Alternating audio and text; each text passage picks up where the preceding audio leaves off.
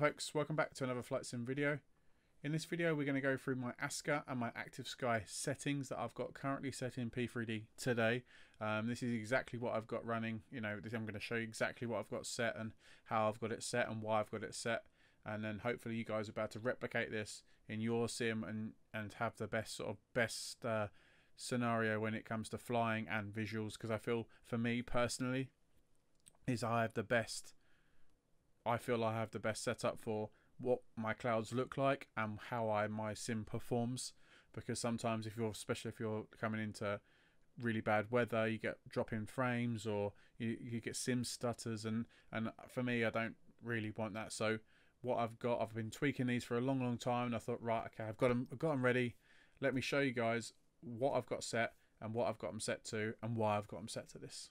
So coming over, I won't go through every single one of these tabs because I think it's just I'll go through the only ones I've got and you can pause the video at any time to stop and check and double check and triple check. But really, I'll just go through the key main ones that I've changed because there's a lot of settings here and I don't want to uh, go for everyone and bore people and have a 20 minute video on how I've got my ASCA and Active Sky settings because you're not really interested. You're just interested in the key features that I've got set up and why I've got them set. So first of the one I've changed is download interval. I've got that set to 5 minutes. Default is 15, but I think if you just want the most up-to-date weather at any time, you've got just set it to the lowest. It's going to use obviously more resource um, and more energy, um, and obviously it might make your sim a little bit slower, but overall it's going to give you the perfect scenario when you're trying to get real world weather and um, in, in, your sim. Next one I've changed is uh, maximum cloud layers. Now currently default is five. I've actually set that down to three. You probably could leave it at five um, in most cases. But again, like I said before, I want to make sure I've got the best performance visual. And I just think moving this down to three, you could probably put it at four. Uh, I have it at three. Again, it's just a personal preference. Again, you can choose whatever you want to do. So minimum draw distance is now set is currently set to 60. Um, just want to make sure that I've got the minimum amount of clouds in and around. It just makes my sim much more faster. Uh, a maximum cloud is 110. Now, I could probably move it up to 120, and if people with a little less PC load probably can set it down to 100. But for me, I feel 110 is just about right for what I want it for.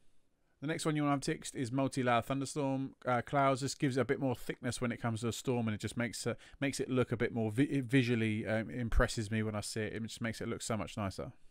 So if I come down to the wind options, I've got my maximum wind turbulence. Default is 100. Got it turned down to 20 just so that I don't get really severe turbulence and obviously it starts throwing the plane all over the place. I probably could turn it up to be brutally honest, but again, going through my settings and how I want it, this is perfect for me. Turbulence uh, effect scale, um, I've got that down to 10%. Um, just this is the effect on of turbulence on the aircraft. So um, when you're flying on for a storm, you know how much you get chucked about in the sim and how much your air, air, aircraft moves up and ups and downs and and speed um, changes and all that. So got mine turned right down. Um, I should probably have it turned up for more realism, I guess, but uh, yeah, that's how I got it set. And then finally, probably the most in one of the most important settings to have in your Active Sky setup is having the application startup sounds as off.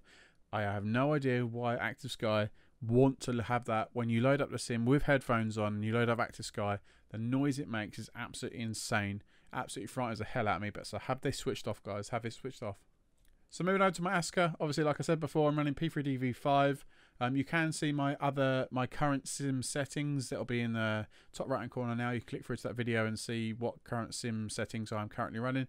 But I have, obviously, I have Active Sky, ASCA. I don't have Enhanced Atmospherics turned on in the sim. I just feel like it doesn't look visually very good at the moment. Obviously, I need to make more improvements to it. But as the improvements come, I'll potentially move over. But at this moment in time, ASCA works perfectly in P3DV5 so I'm using it. And as you can see, I'm using global automatic. Everything is set to automatic. I'm not setting any full dynamics. It's literally full auto, um, just so you know I get the, exactly where what weather, real world weather there is at any particular time. So coming to the settings, you can see here you can pause it whenever you want, um, but basically got things turned up quite high. Um, there's not really much change here. I think most of this is default anyway. Um, but you can play around and this, like I said, this is exactly what sim settings that I currently have in the sim. There we go then guys, another settings video for you. If you like um, if you like the video, please consider hitting that uh, thumbs up button and hitting that subscribe icon and turn on the notification bell. Any other sim settings you want me to see, put in the comments down below and just give me how, how what your settings are like compared to mine. I've been Toga Virtual. Thank you very much for watching and I'll see you in the next one.